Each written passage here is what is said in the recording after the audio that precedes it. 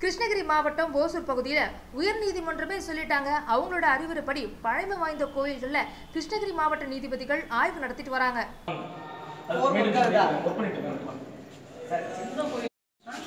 எல்லா பக்கமும்